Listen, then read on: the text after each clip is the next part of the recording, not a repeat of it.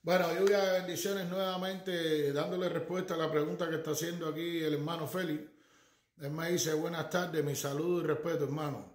Mi pregunta es, ¿el secreto que uno busca al río cuando está o cuando se está iniciando, ese secreto va en la sopera del ángel que fue coronado?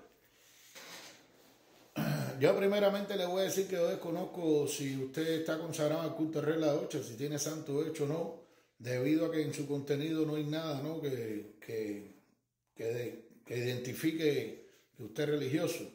Eh, deduzco que sí, deduzco que tenga santo hecho por la pregunta que me está haciendo, ¿no? Yo le voy a dar contestación a la medida de mi conocimiento en este tema. Uno, primeramente, uno debe regirse por su casa religiosa, por sus mayores, por sus padrinos. ¿Por qué digo esto?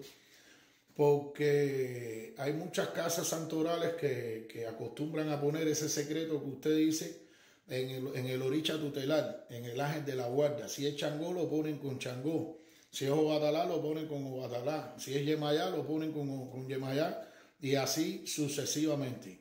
Y hay otras casas religiosas, otros padres, otros linajes, que lo ponen a vivir con Ochum te corona Changó y ese secreto lo ponen a vivir como Ochun. De hecho, yo tengo la costumbre de cuando voy a oficiar como Bauriate, una consagración de un, un cariocha, perdona, eh, preguntarle a la marina o al padrino dónde es que ellos ponen ese secreto. Por las variaciones, ¿no? Que existen que te expliqué. Muchos lo ponen en el Oricha Lambatorí y otros a vivir en Ochun.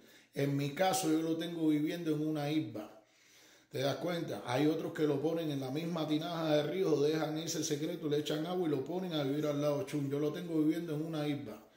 ¿Por qué razón? Porque ese secreto es una deidad. ¿Te das cuenta? Ese, secreto es una espiritualidad que representa al hijo perdido de Orúmila y Ochun, que estaba de Yabó, que se ahogó en el río.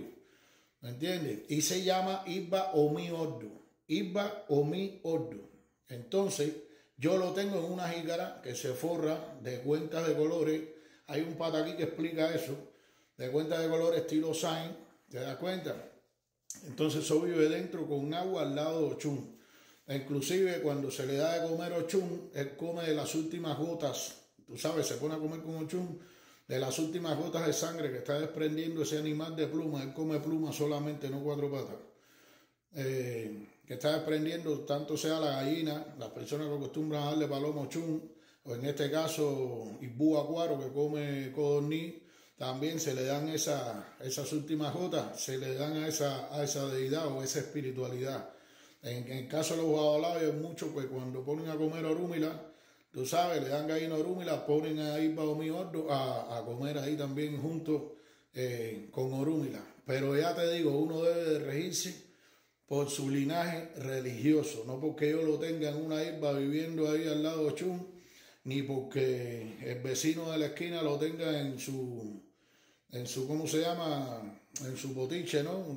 que llevaron a Río, la tinaja, ¿no? Que llevaron a Río, el otundé, que llevaron a Río, lo dejaron ahí, lo pusieron, he visto a muchos que lo tienen viviendo así, el tuyo porque está viviendo en el ángel de la guardia esté mal, ni el del vecino de al lado porque está viviendo en Ochum esté mal. Uno debe regirse, valga la redundancia, por su casa religiosa, por sus padrinos, de la manera que funcione.